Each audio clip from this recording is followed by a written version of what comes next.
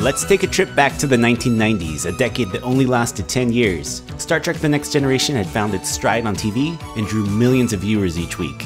This was also the era of the licensed video game, with seemingly every movie and show getting one. By this point, Star Trek had already had a long history with video games, but only with the original series. The Next Generation wouldn't get their first mass produced game until the end of the series. How would the Next Gen translate into a video game? We'll get into that and see how everything turned out. This is a look at the first Star Trek The Next Generation video game. Star Trek The Next Generation was released for the Game Boy and NES in September 1993. The Sega Game Gear version would follow over a year later in October 1994, after the series had already concluded and one month prior to Generations being released. The Game Gear would also get a Generations game two months later in December 1994. I have a separate video on that game nearly complete, so tap that subscribe button if you want to catch it when that one goes live. Each of these are the exact same game, with the only difference being some slight visual upgrades and overall graphics. We'll get into that in a few. Just real quickly, I want to address this. The first actual Next Generation game was released in 1989, Star Trek The Next Generation, The Transinium Challenge. It was a super small release for DOS and Tandy, whatever that was. These Nintendo and Sega games were the first to be released to the mass market, so I'm counting these as the first true next gen games. They were developed by Absolute Entertainment, a game developer best known for nothing. It looks like they've moved on to the emerging private event DJing market, so it's good to see that they've diversified. But no, seriously, they don't exist anymore. They would later morph into a new company named Skyworks Technologies, which released their final game in 2011, Boardwalk Ball Toss, which seems like the sort of game you would release before going out of business.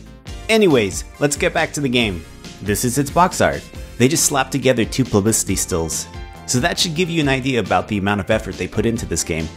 The Game Boy game is what you'd expect. The graphics are good enough so you can figure out what's going on. Faces and locations are recognizable.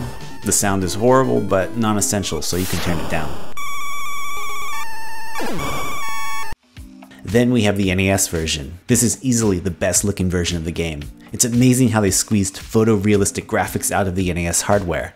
Especially, no, this game looks like vomit. I mean, we all remember the Enterprise D's purple view screen wall. Finally, we have the Game Gear. Sega does what Nintendo don't, so color. But not just that, this game is a full 16-bit upgrade, or whatever bit level the Game Gear was. In any case, the visuals are better across the board. There are transition scenes that the Game Boy version simply didn't have. You get a glimpse of Starfleet Academy, which looks like they digitized an actual image from the show. When you warp to new locations, there's a pretty good animation that would be impressive even on a home console. There's also a nice shot of Drydock as well. The main difference between each version of the game is its name. On the Game Boy and NES, it's simply Star Trek The Next Generation. On the Game Gear, it's titled Star Trek The Next Generation The Advanced Holodeck Tutorial, which, considering the premise of the game, sounds more like a legal disclaimer. Let's get into that. The game's premise is simple. You're Captain Jean-Luc Picard on the bridge of the Enterprise. Plot twist, you're actually a cadet in a holodeck training simulation proctored by Picard. That's an interesting twist. The structure of the game is you receive an order from Jean-Luc Picard, which is always a combination of go to a place, fight a thing, beam someone up, or beam someone down. All of these happen in distinct sections of the game. The first is controlling the Enterprise. Then there's the engineering minigame that you play when the ship takes damage and you need to redirect power to a system. Finally, there's the transporter portion, where you beam things up and you beam things down. The default view is the view screen. Here you have some com badges on the bottom. Each one represents a crew member. There's Worf, Data, Geordi, O'Brien, and Riker. Each of these corresponds with the ship system. Worf readies the weapons and shields. Data navigates, O'Brien beams things up and down, Geordi handles repairs, and Riker's there for moral support. In a nutshell, this game is a series of procedural tasks that need to be performed in an exact order to progress each mission. Once Picard gives you a mission, select data, scroll through a list of planets, and choose your destination. Though it's not in alphabetical order, but you're a Starfleet cadet and you gotta be ready for anything.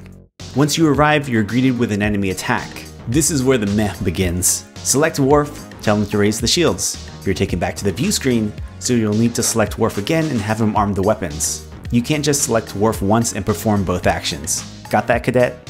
Now comes the select button's time to shine. The D-pad controls the Enterprise speed and steering. Makes sense, right?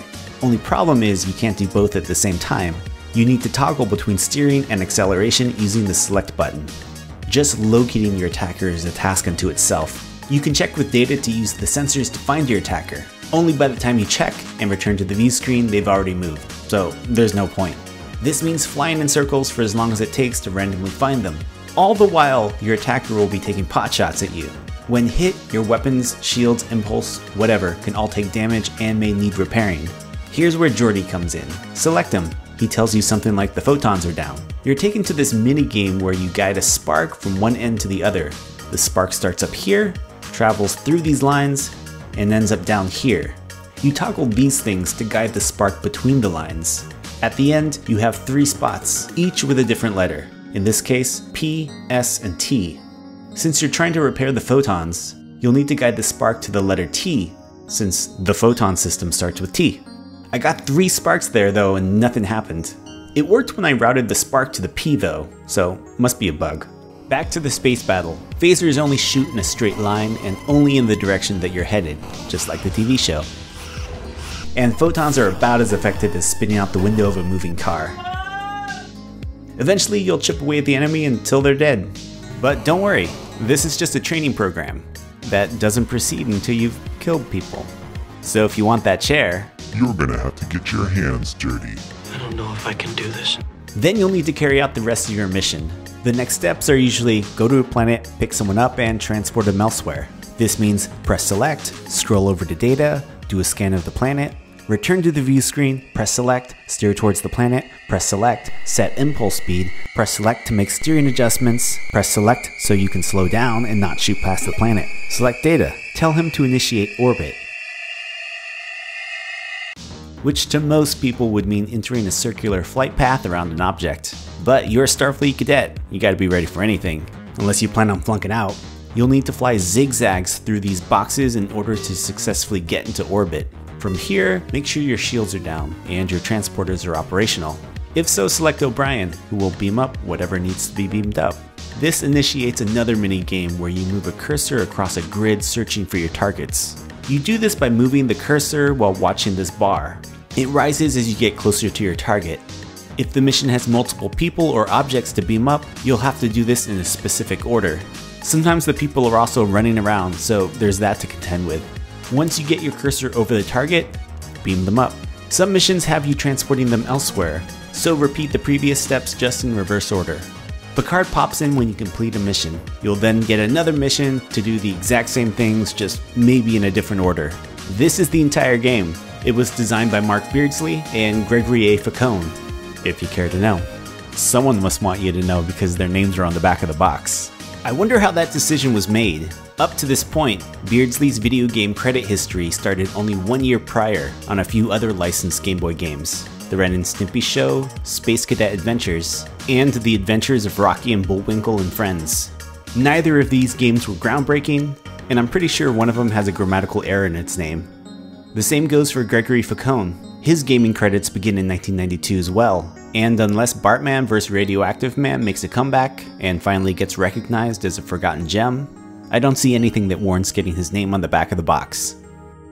Okay, so if you're old enough to remember GamePro magazine, you'll know that they were one of the most popular video game review magazines around. And if you're old enough to remember GamePro, you're also old enough to have a 1 in 5 chance of having high cholesterol.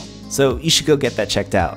Anyway, the Game Pro review says the Game Gear controls do a workman's-like job of enabling you to cycle through the six crewmen and access the systems at their stations. They completely snub the select button here by not even mentioning it, but we know who the real hero is. The review goes on to say, the game's challenge may make the staunchest fans consider dumping their warp cores. Interpret that as you wish. This is the kind of game that needs an ellipses in the title, it never ends. It just keeps repeating missions over and over. Remember how the Kobayashi Maru simulator was a no-win scenario? This is just that. It's actually a no-win situation, because the game just keeps repeating missions over and over and over. There's no completion. It's an 8-bit Kafka nightmare. Select data, leave orbit, select data, set course, don't forget to set your speed, warp to wherever, arrive at wherever, Get attacked by someone, press select, select Worf, raise shield, select Worf again, arm weapons, engage impulse, press select, select data, select, select sensors, enemy explodes, press select to set full steer around, to select and extend adjustments, and square, press select again, leave orbit, speed, coordination. Absolute Entertainment were back the following year with Star Trek Beyond the Nexus. Subscribe and do that bell thing to get notified when that and future videos drop. TNG's first foray into games wasn't as bad as it could have been. It wasn't a generic 2D side-scroller like many other licensed games at the time. The game was thoughtfully designed and captured the look and spirit of the show pretty well. It just wasn't fun to play and frustrating to control. The next gen would soon get some decent games. Depending on how this video does, I may do a video on those. We'll see. I'd like to thank these unappreciated select buttons for all their support of the channel. You guys rock. I'll catch ya in the next video.